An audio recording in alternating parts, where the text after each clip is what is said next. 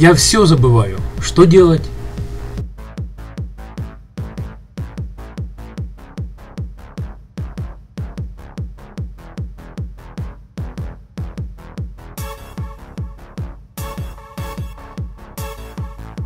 Если есть что сказать, напишите комментарий внизу.